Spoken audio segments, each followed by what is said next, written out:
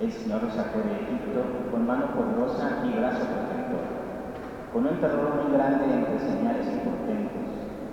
Nos trajo a este país